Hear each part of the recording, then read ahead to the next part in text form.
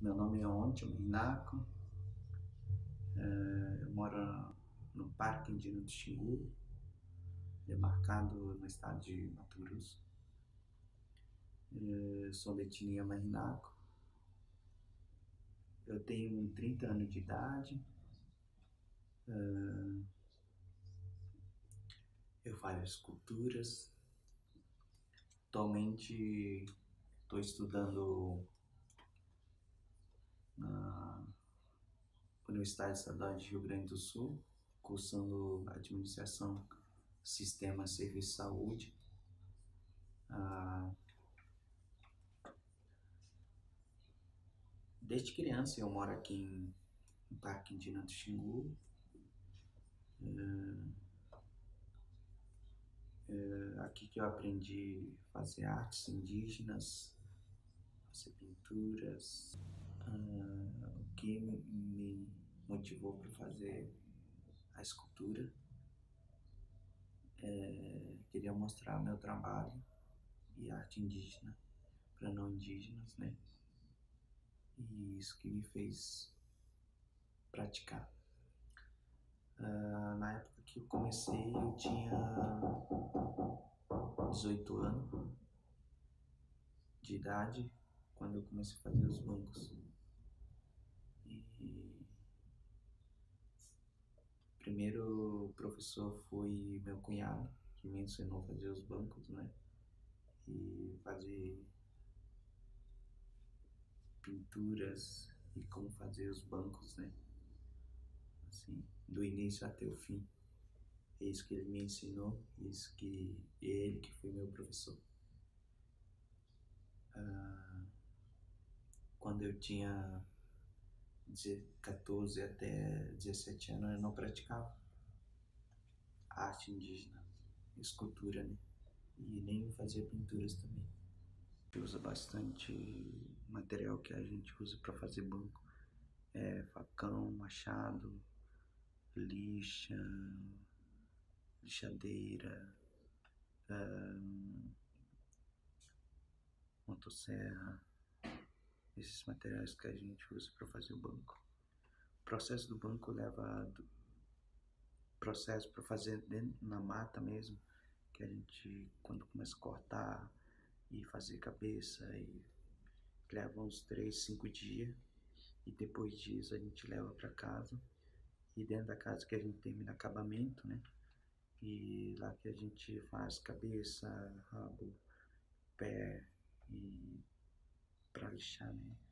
Leva para terminar, ficar pronto mesmo, com pintura e tudo mais, leva uns 15, 20 dias, depende do processo, depende do tamanho do banco também que, que a gente faz, né? Leva esses períodos. Uh, a gente usa bastante pintura, a gente usa bastante cor preta e vermelha e óleo de piqui. A preta a gente extrai da madeira e vermelha é urucum. Esse capivara que vocês estão vendo na foto, que eu fiz ele porque o capivara aqui na nossa região é muito comum se enxergar. Você vê na beira do rio. Quando a gente foi para pescaria, a gente enxerga na beira do rio com a família. É, porque eles sempre estão unidos, né? Isso que me levou para fazer capivara, capivara. E também é comum você ver aqui na, no Parque Indígena do Xingu. A pintura eu escolhi porque a pintura eu achei muito legal para dar uma destaque nela. Um redondo, né? Um círculo. E não é a pintura específica do capivara, mas eu tinha que colocar ali para dar uma destaque nele. É, é, por esse motivo que eu coloquei, porque a pintura círculo você pode usar na, tanto em outros bichos, né? Como anta, como cutia, esses animais que pode pintar com essas pinturas também. É, é isso que me levou para fazer capivara. É, eu gosto muito desses capivara, até eu tenho outros também que eu tenho feito esse ano. Um, alguns capivaras também. Para diferenciar o banco, é, tem vários tipos de bancos, né? Tem banco do pajé, tem banco para femininos, tem banco para cacique, tem banco em comum que você pode usar em, em qualquer momento, né? Você utilizar dia a dia. É, tem, por exemplo, banco do pajé, ele usa especificamente nos momentos de cerimônia dele, é, quando vai fazer pagelância, e cacique pode usar o banco nos momentos importantes, né? No dia das festas. E é isso que faz o banco ser diferente do outro. É, por exemplo, o banco do cacique é grande, né? Com duas cabeças, uma onça, uns bancos bem grandes, né? E especificamente utilizados em momentos importantes, como uma festa, né? Para receber outros lideranças na aldeia. E é para isso que os bancos é utilizado também. O que eu quero que que as pessoas conhecem a arte indígenas, né? Isso é meu sonho e eu quero que as pessoas conhecem a arte indígena através através do meu trabalho, porque a arte indígena sempre está oculto aqui no Brasil e qualquer lugar, né? E isso que me motiva para fazer o banco, para fazer esculturas, para fazer pinturas, né? Para mostrar o trabalho, porque a arte indígena é, é muito importante a gente mostrar e da onde que saem as pinturas, né? E meu sonho é isso, né? Para as pessoas conhecer, conhecerem arte indígenas no mundo todo, internacionalmente, né? Ser conhecido a, a arte indígena. Isso é meu sonho para mostrar para as pessoas a importância da cultura indígena, a luta dos povos indígenas. Esse é meu sonho para mostrar a arte indígena é uma das coisas que me motiva todos os dias para fazer pinturas, para mostrar a arte indígena. Meu sonho é isso, para mostrar trabalho, para mostrar a importância dos povos indígenas, né? E é isso que é, é meu sonho. Tem outros meus negócios também, quando comecei a fazer sapato com grafismo indígenas, uh, com parceria com outro etnia, com... e eu fiz a pintura para colocar no sapato. É outro negócio e outro desafio também que eu tô uh, que eu quero mostrar a, a importância das pinturas das, das artes indígenas, né? Isso que me motivou também para fazer sapato, para que as pessoas andem na rua, que caminhem, que vai nos lugares para mostrar a arte indígena com, com gravismo. É, é, na minha cabeça, é, pessoa andar com meus sapatos, com gravismo indígena, é muito importante. Esse é outro o, que eu estou fazendo também, que eu comecei a fazer o ano passado. É, é, esse é, é uma iniciativa ainda, né? Como o primeiro indígena a fazer sapato com cravismo aqui no Brasil. É, é, eu acho muito importante mostrar a arte indígena. Isso que me, me fez fazer o negócio com sapatos. Eu, eu não trabalho somente com banco. Eu faço, eu vendo outras coisas também, tipo esteira, uh, cesto, uh, pulseiras, pá de beiju, cocares, flecha, remo, portunas. Esses objetos indígenas que, que eu vendo também e eu faço também, né? E principalmente eu trabalho mais com a arte da minha mãe, que é a esteira que ela faz, né? E eu vendo a rede também, eu vendo a rede. E como eu falei, eu trabalhei com sapatos E todos esses objetos que eu, que eu trabalho, que eu vendo, né? Que é fonte da, dos nossos. da onde que a gente tira dinheiro, né? É através desses objetos nossos. É para isso que eu trabalho, para isso que eu faço as vendas, né? Não é somente o banco que eu vendo, eu faço outras coisas também. É, é por isso que eu trabalho com vários objetos indígenas, né? Que é arte indígenas.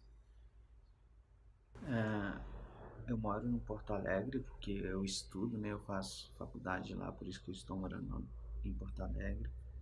E meus colegas da universidade ainda não conhecem meu trabalho por causa da pandemia, né? E porque a gente não estudou presencialmente. E algumas das pessoas já conhecem meu trabalho lá. E algumas pessoas que adquiriram a, a minha escultura, tipo um banquinho que eu levei para lá, eles gostaram muito. E receberam muito bem eu lá em Porto Alegre. É claro, né? É diferente a gente morar numa cidade da nossa aldeia, é totalmente diferente. A cultura é diferente, a comida é diferente. E para quem comprou meu sapato com grafismo indígena, gostaram bastante. E eu fiquei muito feliz com a recepção da, deles, né? É, a arte que eu levei para lá, eles gostaram muito. Algumas pessoas me procuraram para comprar minha arte. Eu fiquei bastante feliz com essa recepção. E por isso estou bastante feliz com essa iniciativa, né? Para mim ter exposição online é muito importante. É, porque a, a como estamos vivendo nessa época da pandemia, é muito importante fazer exposição pela via online para mostrar um pouquinho da arte indígena. É sempre importante isso. Para mim é muito importante para que para a gente mostrar o nosso, a, o nosso trabalho, né, de arte indígena. Por isso é muito importante a gente fazer eventos online, essa exposição online é muito importante. Uh, o que eu contaria, assim, para mostrar, eu acho que mostrar um pouquinho de cada uh, luta, né? Como, por exemplo, como indígena, eu falo pelas outras etnias, né? Como artista, como escultor, eu falo pelo outros artistas também. Eu acho que é mostrar a luta indígena, é, mostrar um pouco de pintura é, significa para nós é luta também, né? Mostrar a importância dos povos indígenas aqui no Brasil. O título, se não fosse minha, eu colocaria título Arte Indígena Brasileiro eu colocaria assim o título, se não fosse só minha. Né? Aí abrange tudo nacionalmente do povo do Brasil. A cada pintura tem seu significado, cada pintura tem seu simbolismo. E é por isso a gente define algumas pinturas como em simbolismo de alguns animais, né? Tipo chibóia, tipo tem pintura de peixinho, tem pintura de uh, tem de piranha, tem pintura de uh, guarupi, tem tudo esses significados. É por isso que cada pintura tem seu significado, tem pintura. É por isso que a gente sempre fala o significado das pinturas, né? É, tudo tem seu significado. Uh, tem pintura masculina também, tem pintura feminina, isso a gente tem que saber separar também. Uh, tudo tem esse envolvimentos. Pintura de peixe não vai somente em banco de peixe, né? Porque tem pode usar a pintura do peixe em vários bancos, tipo no macaco, no tamanduá, uma onça, uma capivara, numa anta, numa raia. É por isso que eu estou explicando um pouquinho melhor sobre as pinturas, né? Porque tem muitas pessoas que acham que pintura do peixe só vai num banco em formato de peixe. Não, é porque ele vai em vários tipos de bancos. Isso é muito importante também, vocês saberem.